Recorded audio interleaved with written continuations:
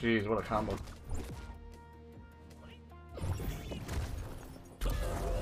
Jeez.